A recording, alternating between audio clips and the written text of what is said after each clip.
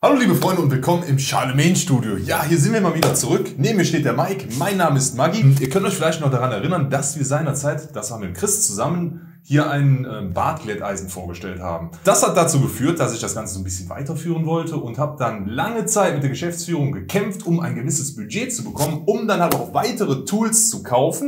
Es hat nur ein halbes Jahr gedauert und dann wurden 16,50 Euro tatsächlich locker gemacht und in diesem Sinne haben wir uns dann einfach mal einen Bartumhang gegönnt.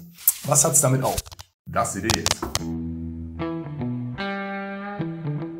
Ja, liebe Freunde, ein Umhang, den man am Spiegel befestigen kann, um sich zu rasieren. Ihr kennt es vielleicht von zu Hause, du kennst es bestimmt von zu Hause, wenn die Rennleitung mal wieder meckert, es sind Haare im Waschbecken. Dem soll man hiermit entgehen können und ob dem auch so ist, werden wir gleich mal probieren. Was haben wir hier bekommen, Mike? Einmal die Pinöckel, klasse Sache. Ähm, die kommen natürlich eigentlich an die Spiegel und, und den Umhang selbst. Genau. Ja, das ist der Umhang. Du kennst es da, glaube ich, ein bisschen besser aus dem Shop. Dort werden natürlich auch Umhänge genutzt. Ist ein bisschen kleiner. Sieht ein bisschen aus wie so ein kleines Ballettkleidchen. Ja, Leute, so ihr seht, eine Schürze. Ihr verbindet das Ganze an eurem Hals, ne? Genau. ähnlich wie bei den ganz normalen Kitteln, die ihr auch aus dem Shop kennt. Und nun soll anhand dieser Pinöckel, hier sind zwei Laschen, das Ganze am Spiegel befestigt werden.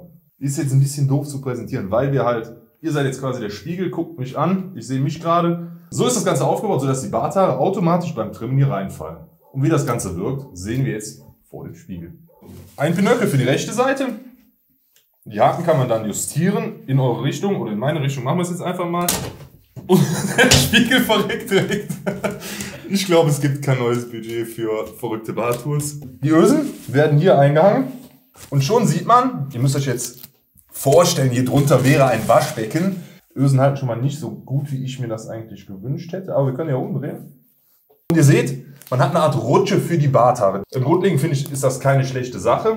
Also was man auf jeden Fall anmerken muss, diese Laschen sind zu groß, die gehen von alleine raus. Was sagst du dazu? Ist er überhaupt im Bild? Nee. Ja. Ja? Ja. Verkehrt ist es nicht. Es ist aber, nicht schlecht, ne? Aber äh, das Loch da unten soll ja nichts im Becken reinkommen. Meine Frau schimpft immer, wenn die Haare im Becken sind. Mike hat es nicht leicht. Mein Fazit. Dieser Ausschnitt ist definitiv zu groß. Wenn man sich hier gerade an der Halslinie rasiert, werden die Haare unter den Kittel fallen, auf den Klamotten hängen bleiben. Nee.